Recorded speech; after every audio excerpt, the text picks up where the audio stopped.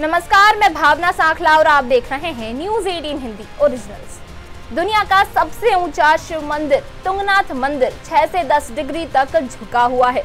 हाल ही में एएसआई यानी भारतीय पुरातत्व सर्वेक्षण की स्टडी ने तुंगनाथ मंदिर को लेकर यह खुलासा किया है।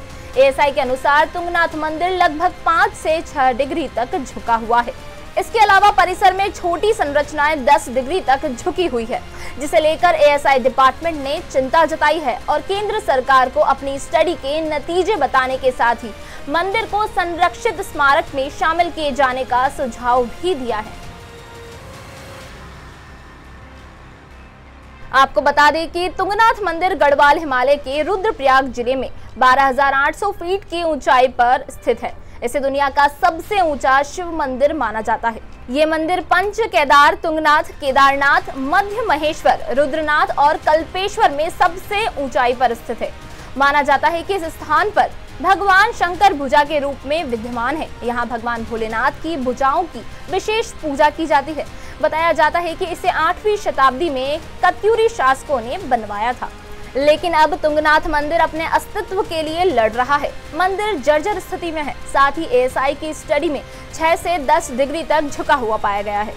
मीडिया रिपोर्ट्स के अनुसार एएसआई की सिफारिशों के बाद सरकार ने तुंगनाथ मंदिर को राष्ट्रीय महत्व के स्मारक के रूप में घोषित करने की प्रक्रिया शुरू कर दी है।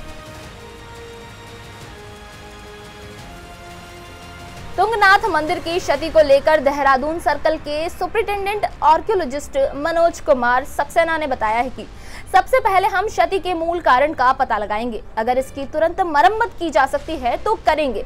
इसके अलावा मंदिर के गहन निरीक्षण के बाद एक विस्तृत कार्यक्रम तैयार किया जाएगा। एएसआई को मंदिर के धसने की भी आशंका है।